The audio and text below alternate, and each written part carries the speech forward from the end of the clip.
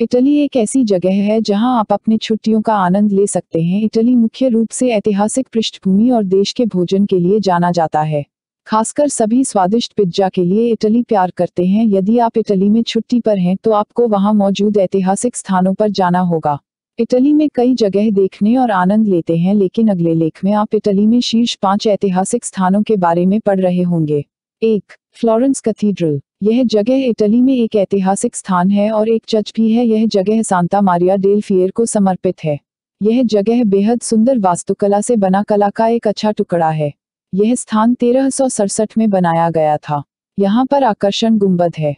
इसके बाद आप चर्च के आंतरिक और बाहरी भाग देख सकते हैं। दो, कॉलोसियम, रोमन फोरम के पूर्व में स्थित सत्तर है डी, में निर्मित इटली में एक ऐतिहासिक स्थान है जो देश में सबसे अधिक ऐतिहासिक स्थान है।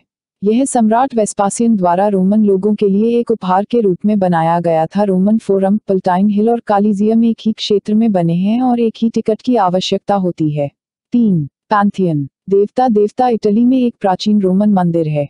यह 118 और 125 में सम्राट हेड्रियन द्वारा बनाया गया था। जैसा कि आप पैंथियोन में प्रवेश करते हैं, वहाँ एक अभिलेख लिखित में लिखा गया है।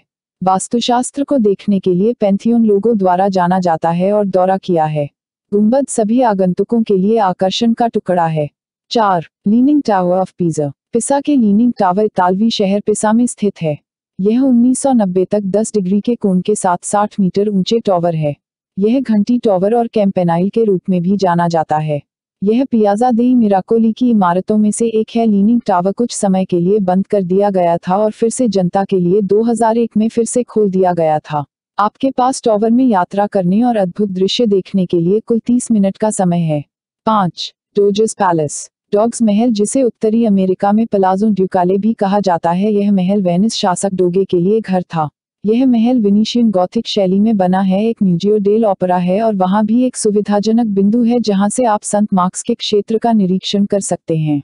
वहाँ से आप लॉगजिया फोस्कारा की तरफ़ जा सकते हैं, जिसके अंदर खजाने हैं, जहाँ राज्य के खजाने को संरक्षित किया जाता है।